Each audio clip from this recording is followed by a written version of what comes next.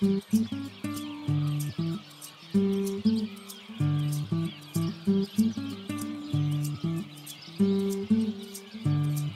early morning in this sleepy backwater in rural New Zealand.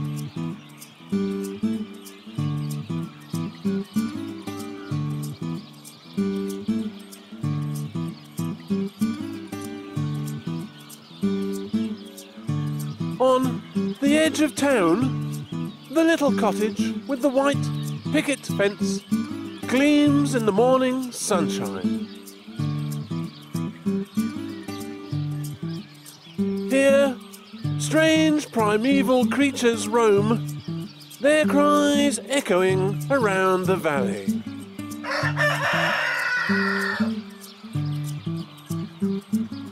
There on the driveway lies the morning paper.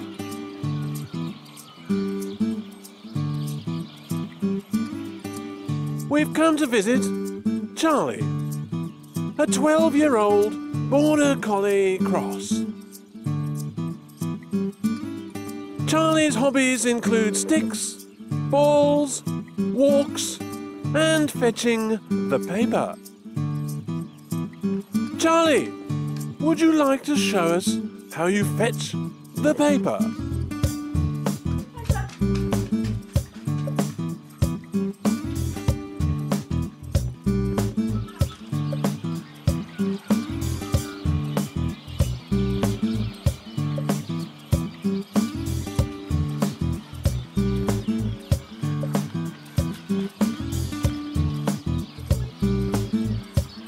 Good, solid paper fetching work there.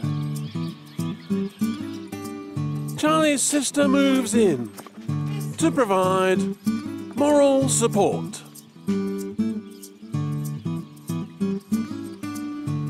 Bess knows that it's now time for a biscuit.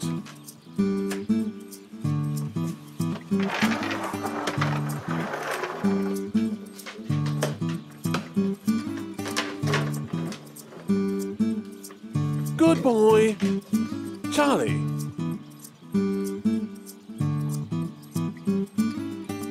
Good girl, Bess.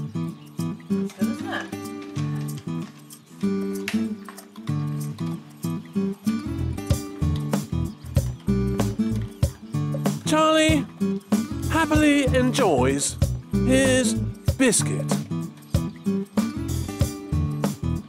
Well done, Charlie. Tomorrow is another day when once again you can fetch the paper.